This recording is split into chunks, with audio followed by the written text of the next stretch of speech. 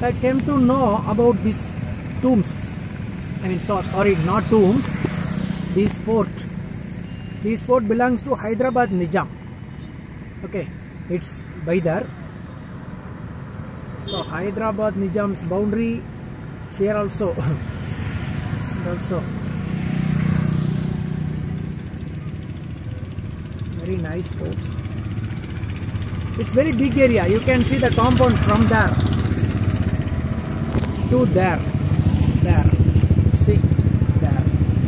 So backside of this, lots of uh, big big buildings are there. That's also in not in condition. Okay. Okay.